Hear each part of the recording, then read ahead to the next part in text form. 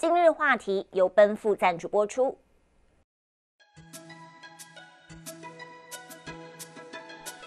请上 penfolds.com 发现更多葡萄酒佳酿。奔赴遇见不凡，请理性饮酒。今日话题，欢迎收听由中讯和高宁为你主持的今日话题。昨天呢，科罗拉多州的最高法院啊，呃，做出一个裁决来啊，这个裁决呢，对明年的选举呢可能会产生一些影响，呃，但是也可能不会啊，原因是这个裁决并不是最终的。这个裁决是什么呢？是最高法院啊，就是科罗拉多州的最高法院，他们以四比三，呃，相当分歧的这个呃结果呢，呃，裁决说是前总统川普啊，因为他在二零二一年一月六号冲击国会这个事件当中，他参与了啊，这个是呃，他们定性是这个是属于叫做叛乱。于是呢，根据美国宪法第十四修正案第三款的规定呢。呃，他就没有资格来呃参选任何公职了。于是呢，呃，这个最高法院就呃做出这么一个裁决来说，是要让这个川普的名字从科罗拉多州共和党的初选选票上要删除啊。当然当然了，他就是说一月号之前，明年一月五号之前呢，先暂时不执行这个命令，因为一月五号就要印那个初选的选票了。所以他是在一月五号之前呢，给川普团队留这么一个时间，呃，让他提出上诉。这个问题呢还是相当的复杂哈。原因是这样的，呃，因为这个里面有很多的词汇啊，这个定义有争议。你比如说，宪法第十四修正案里面用的这个“叛乱”这个字呢，insurrection，这建国的先贤呢？没有叫做举例说明，呃，他没有说就怎么了，这一个人就算是构成了这个叛乱，这是第一。第二，一月六号冲击国会这个事情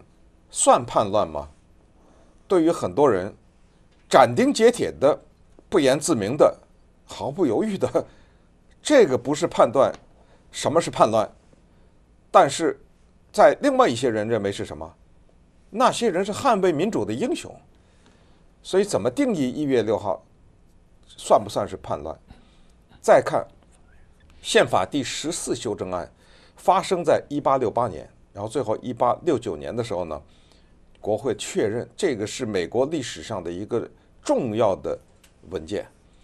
而这一份文件当中呢，它的第三款呢，它的目的是这样的，因为刚刚打过仗。败仗的南方，他们有很多奴隶主啊，或者代表这些奴隶主的政客。那么在南北战争的时候，这就不是叛乱了，这打仗了，这都已经，这还是什么判断呢？多少多少人都死在这儿了。所以呢，为了限制那些南方邦联的人，他们是政客之前，为了让他们不再进到联邦来，在联邦的这一个层次继续当官儿。所以宪法的第十四修修正案，当然里面还有很多其他的部分，今天先不说啊，咱们就说这个第三款，就是针对那些人去的，就是你别以为打完仗以后你还回来当官来，呃，因为你参与了这个作乱和反叛是这么一个背景啊，你没有办法再重新返回到联邦政府来。那么在这个背景之下呢，现在又制造了一个先例，是吧？在美国历史上就。至少这是第一次，一个州啊，限制一个前总统出来竞选，用的是一百五十五年以前的这一个法律的这个修正案，所以这个事儿呢，就引发了广泛的讨论，因为很多人也搞不清楚啊，什么十四修正案是干什么的，那个第三款是怎么说的，呃，川普是怎么？呃，那么先告诉大家，为什么涉及到科罗拉多州的最高法院呢？那肯定有低级法院啊，对不对？那肯定有人告啊。啊，就是这个低级法院的做出的裁决是这样的，是认为一，二零二一年一月六号是叛乱，你现在把这个事儿说清楚。二，川普在当时有一个讲话，让这些人到国会去进行抗议，这个构成了参与叛乱，这是第二。第三，所以他没有资格。一会儿我们给大家讲那个宪法第十四修正案第三款是什么。所以他违反了这第三款，所以不行。不行的话就上诉，上诉上最高法院四比三就裁决了。那么那三票反对是什么呢？那三票反对是说，政府不能未经正当的法律程序呃程序剥夺一个人的选举的权利。那三个人不同意，但是四个人同意，这就是这个裁决的背景。对这个，呃，里头有很多的技术性啊，同时呢，有很多的定义确实是弄不清楚啊，所以呢，这个并不是终结啊，这个一定会上诉到最高法院。其实，川普昨天已经，呃，就是他的团队吧，至少已经说了，他们一定会上诉啊。所以呢，到到今天我还没看到他们上诉，当然没可能没有这么急啊，但是一也挺急月四号，也挺急的了，反正一月四号之前嘛，啊。哎对，一月四号之前嘛。呃，这个不过最高法院会秒做决定，对最高法院肯定会受理这个事呃，情。不光是受理，而且肯定驳回。呃呃，对，因为你想想这现在得了吗？如果最高法院做出来他的名字不能印在 选票上，这这得了吗？这件事儿，呃，当这个呢，确实是哈，就是说，它涉及到这么几个问题哈。第一就是说，最高法院现在有六名呃保守派的法官，啊这个是占绝对多数啊，六比三嘛。呃，其次呢，就是这六名保守派法官当中，三名是川普任命的啊，所以呢，有很大部分的人认为说，第一，最高法院会接受受理；第二呢，会驳回，而且驳回的那就可能，他当然可以做两种选择，一种是就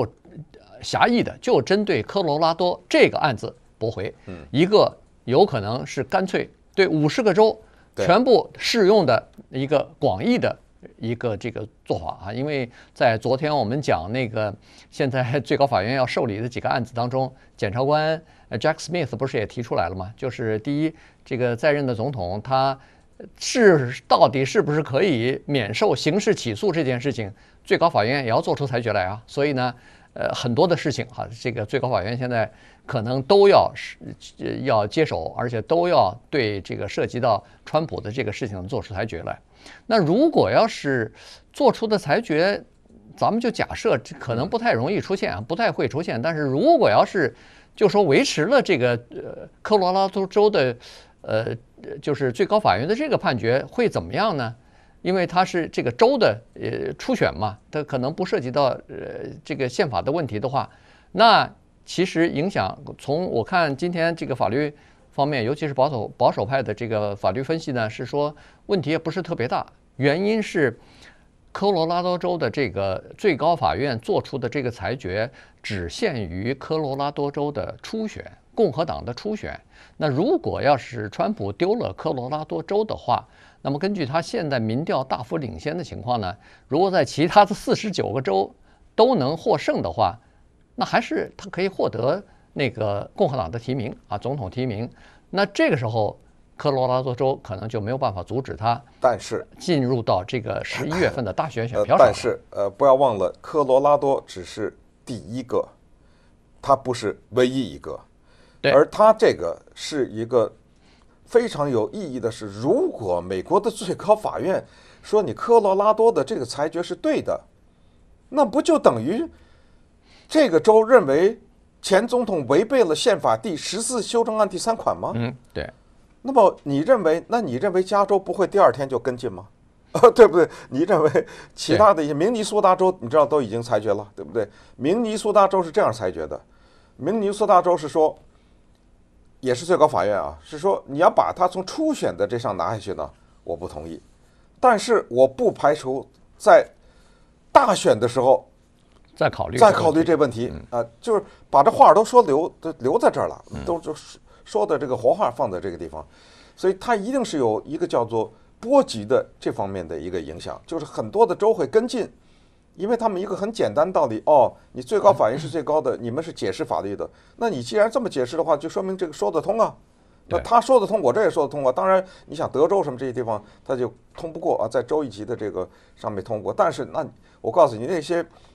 反川的这些团体都疯了，那就就这个简直就是狂风暴雨一样的诉讼，呃，就会来，所以这是有这个意义。其实宪法第十四修正案第三款可以洋洋洒洒，呃，可以非常简单的概括，它就是不是指的普通老百姓，这个是特别重要啊，不是指的普通老百姓，它是指的一个人，他曾经做过合众国的官员，那不管是州一级的呀，什么议员呐，哈，行政的呀，司法都算哈。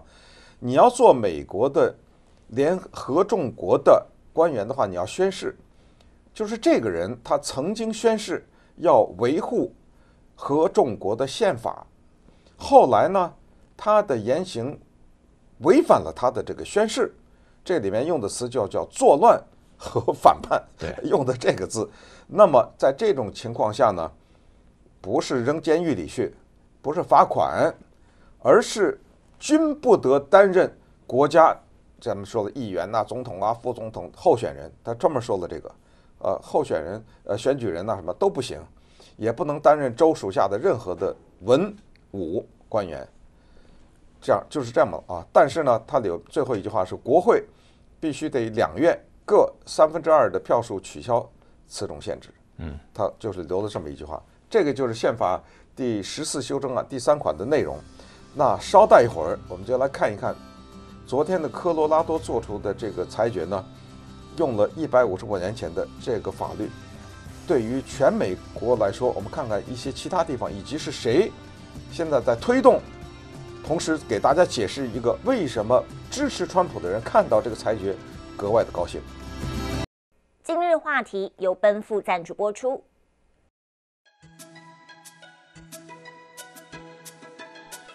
请上 penfolds.com 发现更多葡萄酒佳酿。奔赴遇见不凡，请理性饮酒。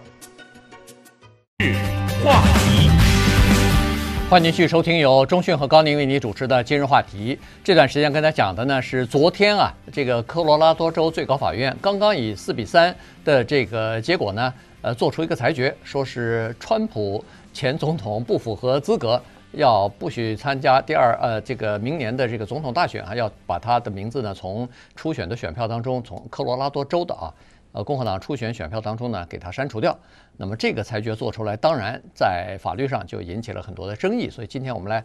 谈一下这个问题啊，因为它的这个法律依据呢是根据美国的第宪法第十四修正案的第三款。刚才已经说过了，这个它主要是在美国的南北战争之后，限制这个邦联的官员啊，呃，他们不是和呃这个。北军作战嘛，这等于是变成敌人了哈，所以呢，呃，限制他们再重新进入到政府的各界，呃，这个政府呢再重新执政啊，再推行他们的这个理念，所以呢，做了一些这方面的这个规定啊。刚才已经说过了，呃，比如说你违反你宣誓的时候的这个保护维护宪法、向宪法效忠的这个誓言啊，呃，你这个做了作乱或者是叛乱呐，呃，然后向敌人提供支持。呃，或者提供情报啊，呃，这些都是属于，呃，叫做不可以再继续担任或者再重新竞选公职了啊。呃，其实，在这个之前呢，在二零二一年一月六号，就是冲击国会之后啊，有美国有两位法学院的教授，一个叫做 William Baud，另外一位呢叫 Michael Paulson 啊，他们两个人呢就开始对这个宪法第十四修正案的就进行了一个。长达一年多的仔细的研究，逐字逐句，呃，翻阅各种各样历史资料，翻阅当时制定这个宪法修正案的，呃，这些这个当时的政治精英他们的考虑，然后呢，在今年八月份的时候写了一篇文章，长达一百二十六页，一个学术文章，上面呢，他们就说了，经过他们这一年多的研究啊，他们认为说，根据第十四修正案的第三款，这个。呃，就是川普以及可能还有其他的官员，都就是符合这个第三款的规定，也就是说他们都没有资格再竞选了。而且呢，这俩保这两个这个法学教授，顺便说一下，还都是保守派的。所以，但是呢，他们说这第十四修正案第三款是不需要法院和上一级的国会再比如说通过啊、批准啊。它是叫做自动执行的，也就是说，州一级的州务卿可以立即援引这个法案条款，就可以宣布某某人他因为违反了这第三款，所以我们剥夺他参再次参选的这个权利。这这个呢，不走司法也难，因为不走司法，这就是宪法第十四条第三款给我们留下的疑难的问题：谁决定？你知道吗？啊，这个问题就在这儿，就是它没有一个完整的一个机构，就是这个机构来决定你有没有违反第三款这个问题。所以，怎么接下来发生一件什么有意思的事情呢？就是一些自由派的组织，可能老百姓都没听说过。你比如说 “Free Speech for People”，人民自由言论权，这是一个组织的名字，在明尼苏达州就根据这个上诉了，就是说咱们这个州要把川普的名字拿掉。另外一个 “Citizens for Responsibility and Ethics”，啊 人民的责任和道德组织啊，这一个公民组织。就在科罗拉多州就上诉了，那这就是这个起诉的原因啊，这一些大串儿，还有一些组织呢在乔治亚州上诉了，为什么呢？乔治亚州有一个女的众议员非常有名，呃，叫 Marjorie Taylor Greene，非常凶悍啊，在那个拜登演讲的时候，在下面这个国情咨文时候大叫的那个就是她，对不对？她在二零二零年选举后就大肆的。站在川普的一边，认为这个选举是舞弊啊，等等啊，鼓励呃老百姓啊发声啊，来反对这个选举的结果等等。所以在科罗拉多州呢，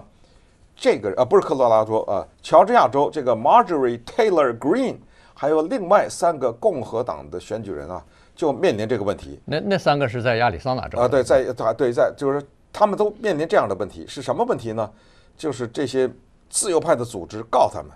说你根本没有资格选举，呃，你们应该拿掉。但是从后来的结果看到，这是失败的啊，这个作为做法是失败的。但是呢，新墨西哥州成功了。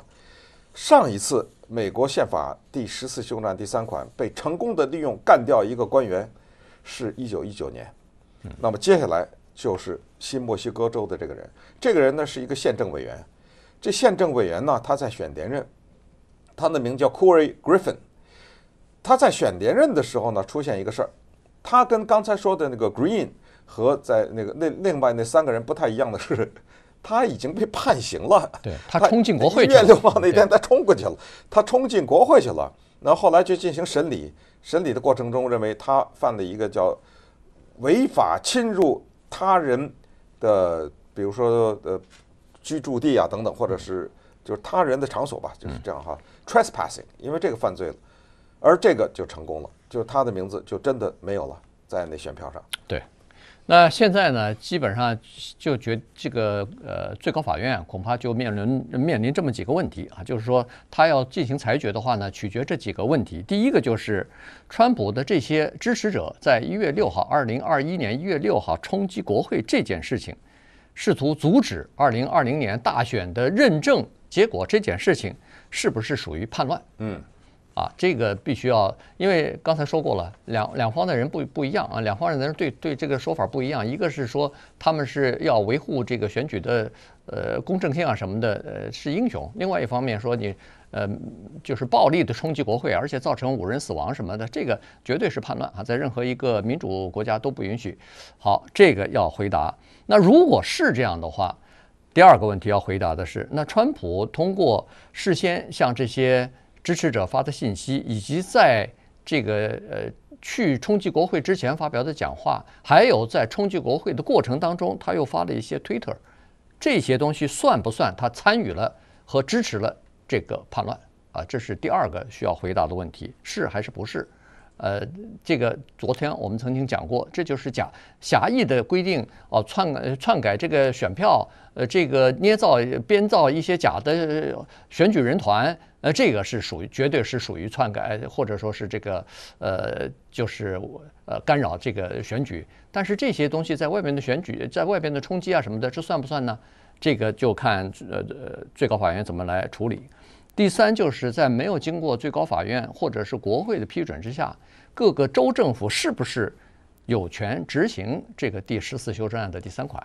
如果有权执行的话，就刚才所说的，那各个州的州务卿都可以搜集一些证据。这个就是叫做这个呃，当初呃，就是一八八，好像是一八八九年还是一九一八八七年，就是这个。呃，全国的，就是在美国的，呃，就是南北战争之后通过第十四修正案的时候，啊，一八六八，哎，一八六八年那个，呃，这个最高法院的首席大法官当时就提出来这个问题，就是说，这可能会有一个呃，就是滑坡的问题，就是说大家越来越滥用这个权利，那到时候怎么来阻止这个问题啊？怎么来防范这个问题？这是第三、第四，就是它是不是适用于总统这个职务？你可以取消其他的民选的官员，但是总统这个职务影响太大。这个就是刚才所说的科罗拉多州的那个地方法院的法官，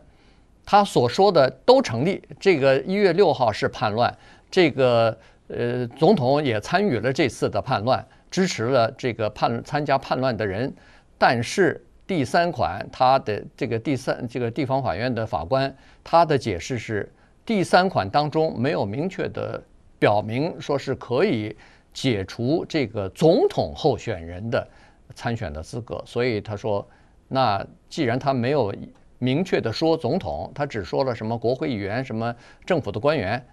他说这个 officials of officers 或者 officials，他并没有包括总统，所以呢，他就说这个名字还是继续要留在那个选票上呃，但是这个。咱们就让那些司法专家去争议去吧，啊，因为我看到的这个现第三款是有一句话是都不得担任国会参议员或众议员或总统或副总统候选人，呃，它里面有这样的一句话，大家可以去网上 Google 一下，去查一下这个宪法十四修正第三款啊，这个一句话。当然我也看到了，有人说说这个不含总统啊，所以这个让他们呃法学家去支持吧，呃去去争论吧。但是要想一下，支持川普的人为什么看到这个非常高兴啊？你不用沮丧，原因是这个牌呀，就等于是出在了他们的手中。就他们期待的，就是他们 一直在推行一个或者在宣扬一个东西，叫做偷窃选举。还有比这个更明显的证明，你剥夺他选举的成立，这不就是剥夺他？这不就是偷窃选举吗？这现在他们提出来的是，他们说你看看，我们不用再证明了。这已经来证明了，你剥夺了他这个资格，他作为一个公民，你剥夺这个选举资格，你这不就是偷窃选举吗？你怕他呀？怕他怕成这样，是让法院来说话，还是让公民手中的选票来说话？这在重大的问题上，你是说谁破坏民主啊？你怎么是说川普破坏民主啊？这不是你们在破坏民主吗？呃，你们剥夺了他这样的一个自由。在很多有争议的问题上，你们已经先下了结论，把这个作为一个结论，已经不再有争议。然后你在这个定罪的基础之上，就把他的剥夺。为什么说在定罪基础上？现在哪个法庭定罪了？呃，对不对？哪个法庭定罪了？说川普犯了煽动判断罪，然后应该判多少年徒刑？没有一个吧？没有一个法庭定罪。那你这不是超越司法了吗？呃，这没有定罪，你怎么就剥夺他这个呢？呃，再说难听点，你把定了罪以后，你再剥夺，对不对？那这个就是一个情况。还有一个人们担心的就是，哦，来这套是吧？那我也会玩啊。咱们就要让那个保守州的州务卿取消拜登资格，拿掉啊？为什么拿掉？哎，贪污腐化什么之类的，那没定罪，哎，没定罪，那他也没定罪啊，哎，对不对？他，你像他要找出一些拜登的罪，还容易吗？那也也很容易啊。把他这 Hunter Biden 什么这些，但这个但这个跟那个没关系啊，这个我知道这个就有点牵强，第第十四修正案没有关系但是他就会用报复你其他的官员啊，对对啊，对他可能也会走这条路报复你。那你看现在众议院已经弹劾拜登了，起诉开始了调查了，对不对？对，已经开始这个调，就是说你玩这个我也玩这个，咱们就玩吧。呃，这个以后国家就别治理，就咱们就全都搞这个党派之争吧。所以这个呢背景简单跟大家讲了一下，还有的说呢啊这个事儿，咱们再慢慢的看。那么。接下来呢，我们就看一下国际上的另外一个地方发生的一个复杂的局势。